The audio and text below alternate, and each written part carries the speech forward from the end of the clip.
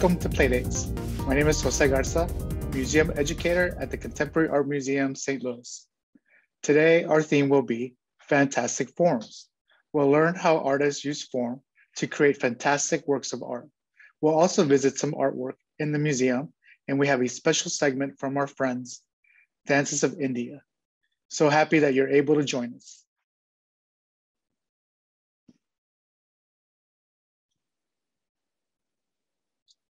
Fantastic forms. Form. F O R M. What is form? A form is a three-dimensional shape expressing length, width, and depth. Balls, cylinders, boxes, and pyramids are forms. Form is an element of art. Elements of art are the building blocks used by artists to create works of art. When shapes have a third dimension of depth, they become forms. When given form, circles become spheres, squares become cubes, triangles become cones or pyramids.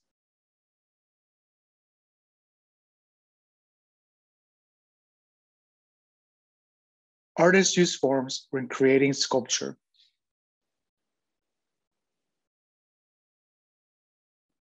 Forms can be geometric or organic.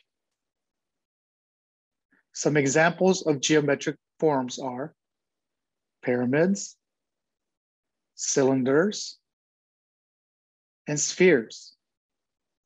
Some examples of organic forms are shells, a banana, and flowers.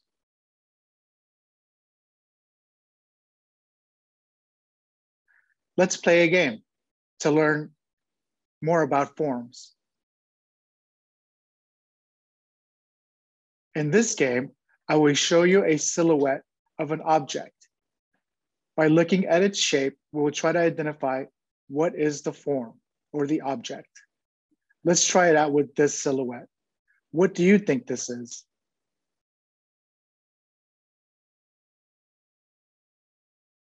If you said football, you are correct.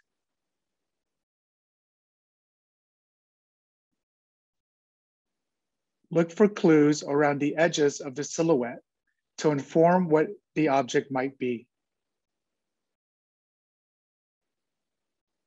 Are you ready? Let's start with the first form. What do you think this is?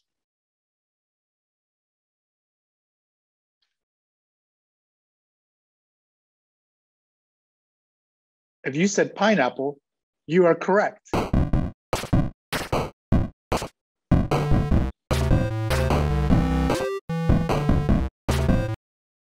Let's try another one. Are you ready? How about this?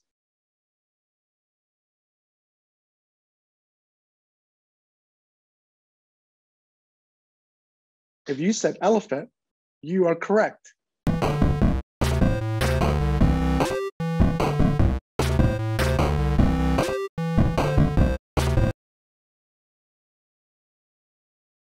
Let's do one more. Are you ready? What do you think this is?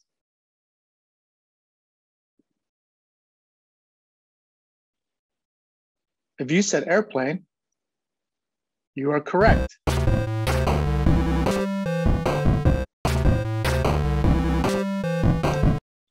Well done, everybody. We've reached a bonus round. Let's try one last one. Are you ready? What do you think this is?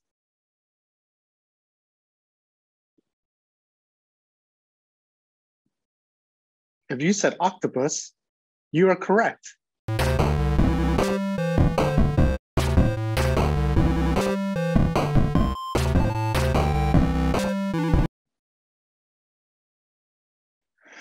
Nice job. We've leveled up. That means that we are going to go to the museum and look at some artwork.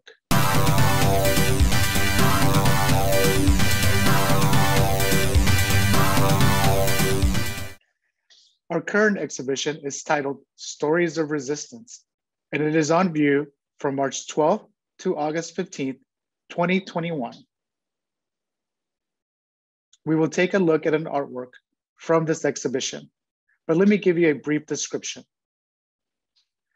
Stories of Resistance explores artistic forms of resistance from across the world.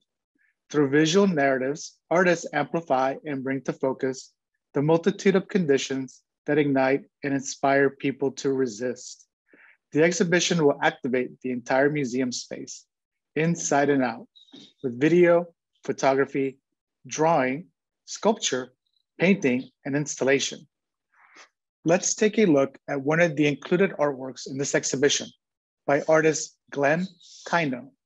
This is titled Salute, and in quotations, Final Turn. It was created in 2019, so it's a fairly new work of art or a contemporary artwork. It is made out of wood, glass, fabric, urethane, lights, and gold paint. When you see this in the exhibition space, you will notice that you will see not only the reflection of the form included within the frame, but a reflection of your of your of your own. What forms do you recognize in this artwork? Does anything look familiar?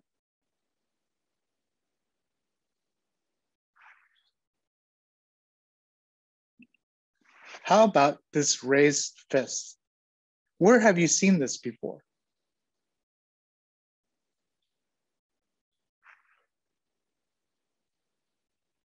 What does it mean when the form is repeated towards the back of the frame, looking like it's going towards infinity?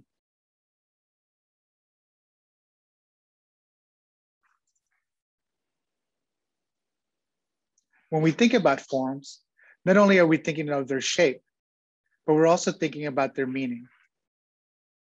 Think about where have you seen this before? What does it mean to you when you see people do this?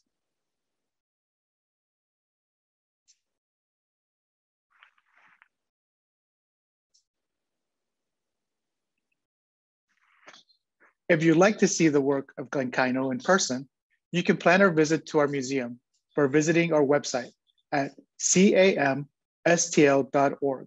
And of course, anytime you visit, photography is greatly encouraged. And now, let's see a special segment from our friends, Dances of India. Dances of India, now celebrating its 43rd season in St. Louis, is one of the oldest classical Indian dance companies in the United States. Artistic director Asha Prem is a 2020 St. Louis Regional Arts Commission Fellow and a 2018 St. Louis Visionary Award winner. Her daughter Nartana writes and narrates productions for their annual performances and has been dancing almost as long as she's been walking. Please visit Dances of India at dancesofindiastlouis.org for more information. Hello, and namaste. My name is Nartana. Can you say Nartana? It's N A R T A N A. And Nartana means dance.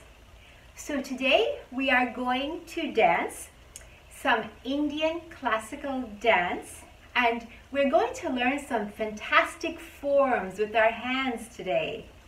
And as I describe them to you, you can follow me and you can actually tell a story with your hands. And you're going to learn how today. So we're going to do that and I'm also going to do a dance for you. First of all, what did I just say? Namaste. It's N-A-M-A-S-T-E. It means, it's a greeting in India, and the meaning of it is, I salute the divinity within you. Namaste.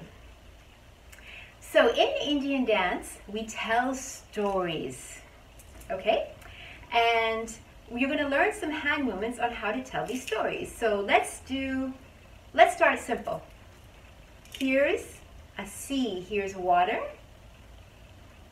And what do you see in the water? Fish, fish, fish, fish. Perhaps a turtle, like this, a turtle. And then if there's this lake is in the forest, how will we describe a tree? You can do the trunk like this. And then, ah, turn your hands like this. And you can even sway the hands. And it's a tree swaying in the breeze. Now, what animals will you see in a tree? How about birds? You can put your index finger on your thumb. And if you have that, you have two birds chirping happily away to each other. Now, perhaps one bird gets tired of the other bird's company and it wants to fly off. So you can do this. You put one hand behind, one hand in front, hook the thumbs, and you have the wings of a bird, and you can run and you can fly. Uh, what else? How about a deer in a forest? You put your hands like this, middle finger on your thumb, and then the tail. The tail can be like this, and it's a deer in the forest. And deers are beautiful. They have big eyes. Deer in the forest. Um, how about a peacock? You can put your ring finger on your thumb like this. And you can go, whoops, you know how a peacock is so beautiful when it spreads its feathers. And you have a peacock. You can also do a peacock like this. Put that, remember we talked about birds earlier? If you put your index finger on your thumb and then behind your uh, palm and you have a peacock. So let's review. We had a lake. We had fish in the lake. We have um, turtle, a turtle. We have a tree like this. And just imagine, imagine a tree swaying in the breeze. We have birds who chirp in the tree. And if they want to fly away, we do this. And then you put your body, because dance is all about the body, right? So then you put your body in motion and you fly away. Um, so we did that. Oh, here's a, another animal. Um, what do you think this is? Can you see this closely? What do you think that is? It's a dog. Isn't that cool? It's a it's a dog. Um, so these are just some animals we can do. Oh, elephant. Let's do elephant. Put your index finger on your thumb for those big ears. And then the same on your other hand. And you have the trunk of the elephant. The, elephant trumpeting in the forest. This is an elephant. Um, what else do we have? Tiger. We have our hand like this. And so Indian dance, we not only use the body and the hands to make fantastic forms, we use our eyes to give meaning to what we're doing. Tiger, so tiger on the hunt. He's sly, he's vicious, and he knows exactly what he's doing. And then you, perhaps it's attacking a snake, as I'm going to show you in the dance that I'm going to do it in a minute. You put your hands together like this, Ah, you do a snake. The head of a cobra, perhaps. A snake. It's attacking the tiger too. It's a cobra. It's a king cobra, and it's and it strikes at him. That's a cobra. Um, elephant, cobra. Oh, a monkey. And the fun thing to do about a monkey is this involves your face too. You put your mouth like Mm, like this. Or walk like a monkey. I don't know if you can hear there's a bird outside. It's a beautiful day today. The bird is chirping. Okay, um, also, um, today is um, Tuesday, February 23rd, and it's a beautiful, beautiful day in St. Louis. So let's show the sun. The sun. And here's the sun. Another way of showing the sun. The rays. How about the moon? We can show the moon like this. The moon right above your head. Or like this, the beautiful half moon and the and the, the rays of light at night. Um, we can show whoo, the wind. This is the wind. Fire. Let's show fire. Ooh, put your ring finger down and just pretend that you're fire. Your whole body's a fire. If you ever seen a fire, how the flame suddenly suddenly will leap up and and keep and keep moving and keep dancing. Um, so fire, uh, what else do we have? Rain, water, rain. These are raindrops. Um, another way of showing fire, lightning. Ooh, lightning. So in this dance, I'm going to talk to you about the beauty of the earth. And it's not just the beauty, it's the incredible magic of the earth. I'm sure you kids know about space and the planets and how many gazillion, billion, trillion planets there are, you know, in the universes, right, all around us. In our solar system, there are eight planets since Pluto was demoted. But of all those planets, the Earth is the only one which is so abundant with life, with, uh, with another way of showing a deer, or it could be a cow with flowers. Let's do that. You put your hands together like this. Flower blossoming. With the trees I told you about, the earth is a magical, wondrous place. There's nowhere else in the universe like this. So this dance is all about how magical the earth is.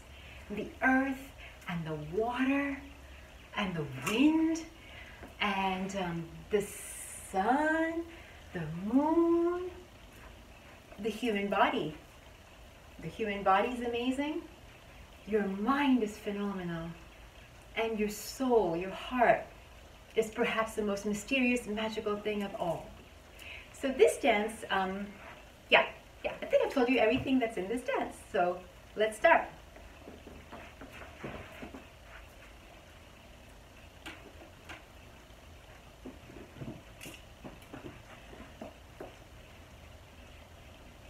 Take just a second to look up. this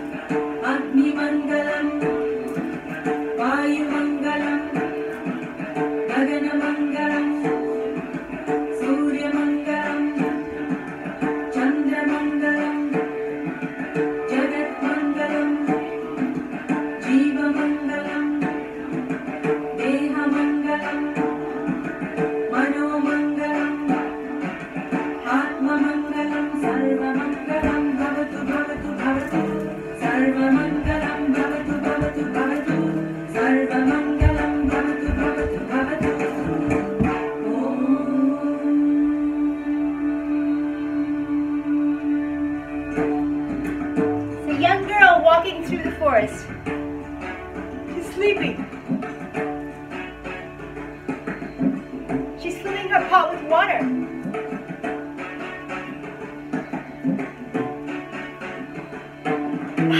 She puts her pot down and watches the animals.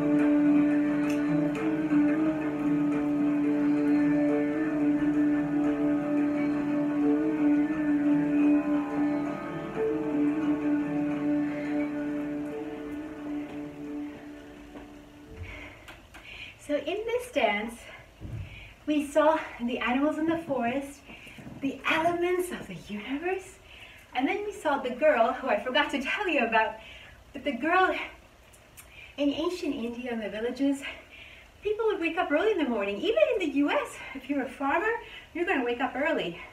So she was sleepy as she woke up and she got water from the lake. And she was going to just go on her way, but then she saw the animals and she watched them in wonder. So this is how we tell a story in Indian dance.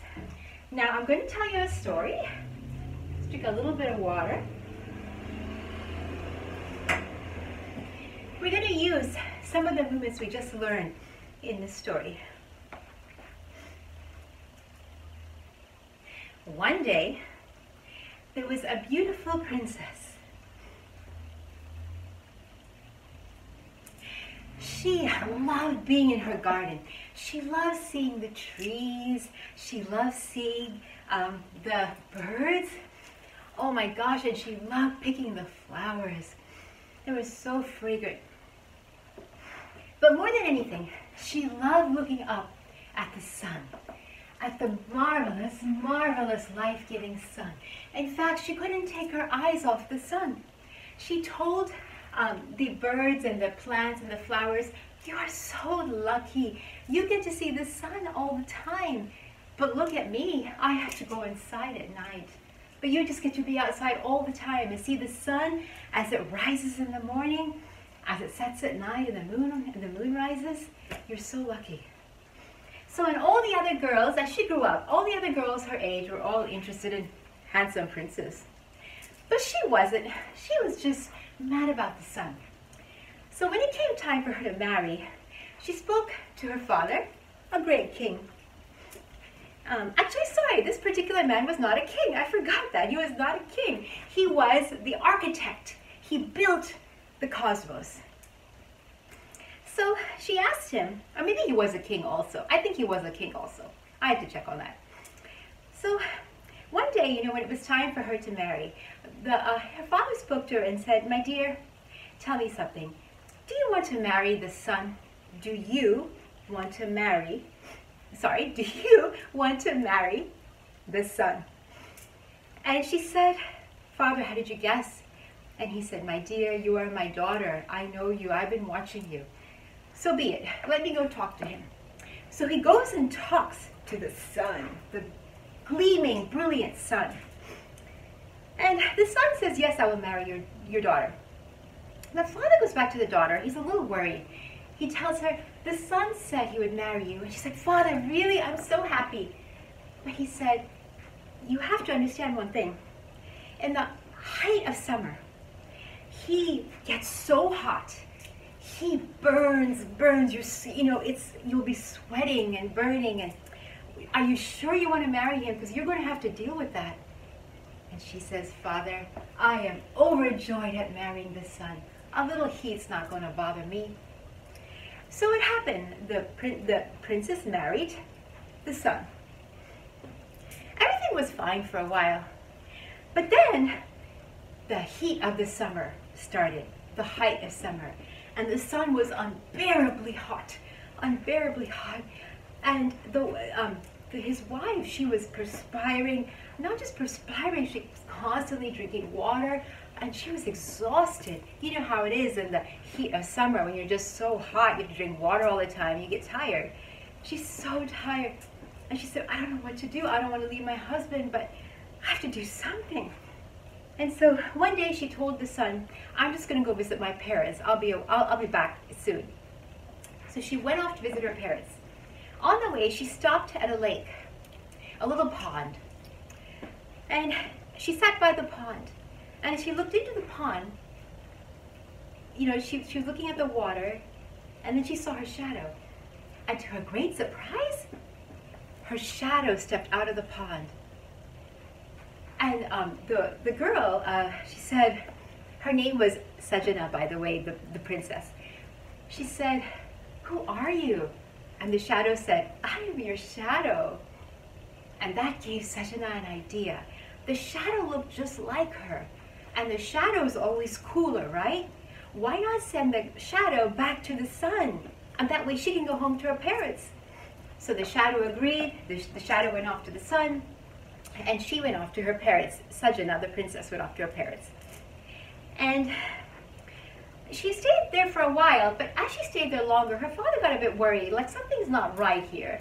So he asked her about it, and she said, Father, you were right. I just can't bear the sun. It's too hot. I don't know what to do. I love him, but it's he's just too hot in the summer. So the cosmic architect, he uh, took a walk, and he met the sun, and the sun by this time had realized that this, actually the sun had not realized that the shadow wasn't his real wife. It was the children. The children realized, wait a minute, this shadow is not my mother. So, and the sun was like, what is going on? So the father went and he spoke to the great sun. That, remember, this is the sun. He's, you know, brilliant. He can be blinding. He's, he's got it all. So the father wasn't sure the sun would accept his proposal. But the father explained everything to him about his daughter and the problem she was having. And this was the father's solution. As the cosmic architect, may I chip off one eighth of your rays. And the great sun, because he loved his wife so, this is the love, he loved his wife so, he agreed to have some of his rays chipped off. And that's how he and, and, the, and his wife his wife. This is a, what, traditionally when you get married in India, you wear a necklace that symbolizes that you're a married woman. So we describe a married woman like this. So, so the great sun and his wife happily ever after. So that's the story of the sun. So I hope you will remember all these um, hand movements I've taught you. The great thing about doing this virtually is that you can stop, go back, rewind, so I uh, hope you have um, enjoyed this. And I would like to end this with uh, one sentence that I hope uh, you guys never forget, guys and girls. I, do it with me, okay? I am beautiful inside and out. I am beautiful inside and out sometimes in schools, boys ask, well, what do we do? Because, you know, you think a beautiful being associated with girls. And so, so, so we tell those boys, well, instead you can say, I am handsome, inside and out. So never forget that. And I had a great time uh, doing this with you and practice. And hopefully next time we'll be at the Contemporary Art Museum in person and I'll be able to teach you some footwork. I just focused on the hands today, but Indian dance has a lot of footwork too, which we'll do when, I'm, when we're at uh, the Contemporary Art Museum physically. Thank you so much. Bye-bye. Thank you to Nartana from Dances of India for that wonderful performance. Please join us again next month for Playdates, where our theme will be Daring Drawings. It will premiere on our YouTube channel on Saturday, April 10th, with special guest Steph Plant.